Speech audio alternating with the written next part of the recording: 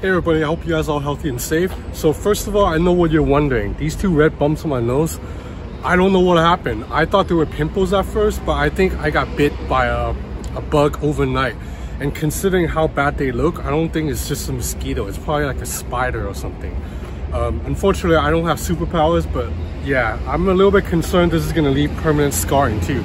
But anyway, the footage you're watching right now is shot with the iPhone SE. So if you are familiar with my channel or if you watch many other YouTubers, you may have heard us say that the iPhone is the best smartphone for video recording. Like Android phones, they might have really good still cameras for photos, but in terms of videos, it's still the iPhone is the king of recording videos. The iPhone video is so good, in fact, that I use it sometimes to shoot my videos like some of my videos you can see i'm shooting with an iphone and it's not just me even big time youtubers like mr mobile. I know he uses an iphone sometimes for some of his b-roll footage too. That's how good the iphone camera is. But unfortunately one of the weaknesses of shooting videos with the iphone camera is audio quality. Like right now i'm using just the built-in mic of the iphone se you might still be able to hear me fine because i'm standing pretty close to the phone. But if I step back just a little bit then audio quality should sound kind of you know a little bit distant now. If I stand further back it's gonna sound pretty bad. You might not be able to hear me that well right now. And if there are background noises like if somebody's like talking right here they might get in the way and completely drown me out. So that's one of the weaknesses of shooting with an iPhone. And in the past I've plugged in a lav mic but a lav mic only goes about this far so ultimately there's just not much you can do unless you go with the wireless solution. And I have a really good one right here. So let me grab the box. This is called the Boom XD. It's from a brand named Comica. It's a Chinese brand based in Shenzhen and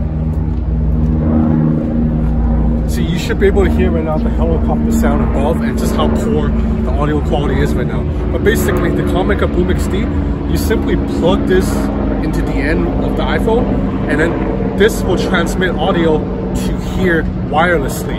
And this clips onto my shirt. There's a mic right here but there's also an additional output for you to plug in a lav mic. So if you don't want to have this by your neck I can put this in my pocket and have a lav mic that connects to here. But let me show you how it works. It's really simple dead simple. You just plug this in turn this on and the sound automatically transmits wirelessly. So I'm just gonna plug this on right now. And then now I'm gonna turn this on so it should be working right now. I think you're already getting sound from here. So I just have to clip this into my shirt. Hello, testing, testing. Do I sound better? And now I can stand really far back and you can still hear me clearly, right? Testing, testing, testing the audio. One, two, three. One, two, three, testing, testing testing, testing, testing, testing. So you should still be able to hear me right now, even though I'm like 30 feet away. So Comica says the max range for this is about 50 meters, which is pretty far. I'm pretty sure I can go, you know, another 20 feet and you'll still be able to hear me. So this is a really simple solution and this whole set right here costs about 185 bucks.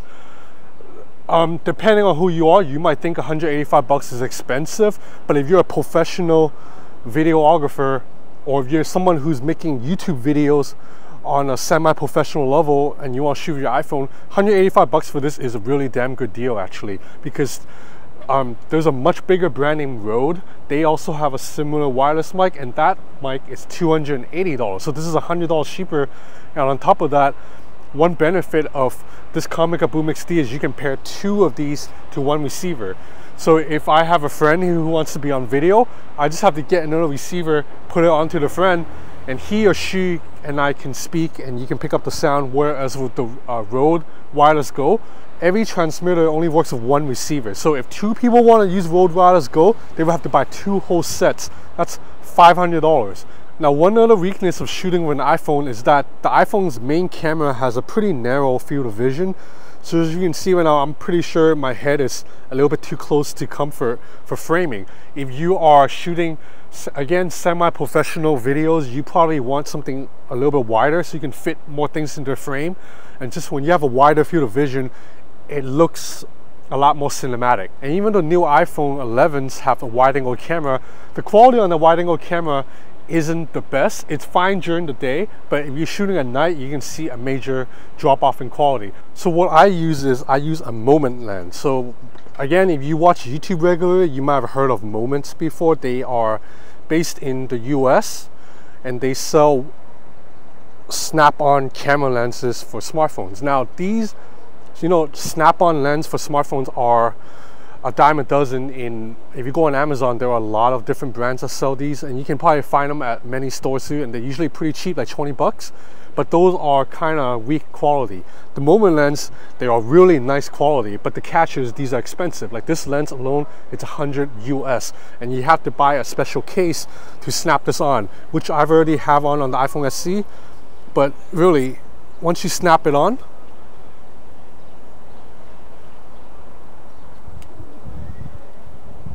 you just twist. And then now we should have a now we should have a much wider field of vision right? This is a little bit more of a cinematic look right?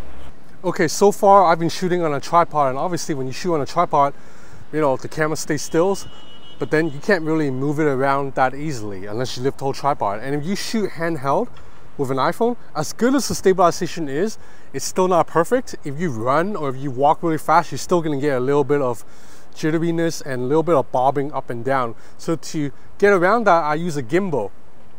This one specifically, the DJI Osmo Mobile. So now, there are a lot of gimbals out there on the market, but most of them cannot support an iPhone with a moment lens because when you add a moment lens onto the iPhone, it makes this end of the phone a little bit too heavy. So a lot of gimbals, because it's hard to explain without having the other gimbals on hand, but when you clamp the phone onto other gimbals, you have to keep the phone center like this, and then this end is just a little bit too heavy and the gimbal cannot support. The special design of DJI Osmo Mobile allows me to push the phone further in. Yeah, it sounds pretty simple, but most gimbals does not offer this option. So all I have to do is do this and then now this is gonna balance properly because I'm able to push the phone a little bit further in so the weight is not too heavy on one side. So now with the moment lens on, on a DJI Osmo Mo mobile, and then if I plug in the Comica Boom XD here, I'll be able to capture high quality video and audio with good stabilization. Okay, so let's test it out.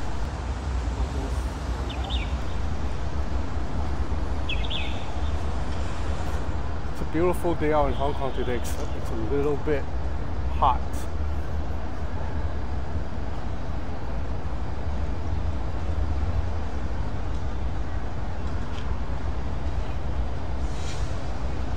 I'm gonna run back.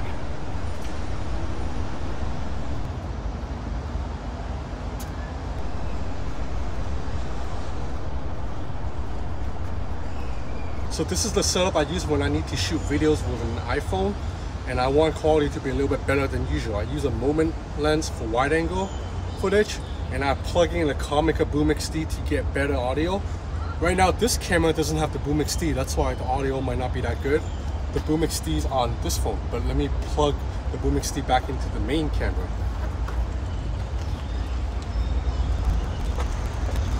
That's Okay, so the Comica Boom XD is plugged back into here, so the audio quality should have just improved by quite a lot. So I used the Boom XD, the Moment Lens, and the DJI Osmo Mobile, and I'm able to get smooth and you know more professional looking videos. And if you're an aspiring YouTuber, you don't want to invest $2,000 in a proper camera, you might want to look into this setup. It's not that expensive in my opinion. The Boom XD is 175, this Moment Lens is $100 you have to buy the case is $30 so that's 130 so so far that's about so so far that's about $300 and then this DJI Osmo Mobile it's about 80 bucks so that's about $400 well plus the cost of the iPhone but just that much will get you started if you are an aspiring YouTuber or you know if you're like a dad who wants to shoot videos of your baby or your dog that looks a little bit better than traditional handheld video. Anyway, so that's about it for this video. I'm gonna have more videos coming up, including on the Huawei P40 Pro Plus and on the Huawei MateBook X Pro 2020. So if you're interested in keeping up with all the latest tech, especially from China, please subscribe to my channel. And uh, I really hope these two red bumps heal because they look pretty bad. Thanks for watching.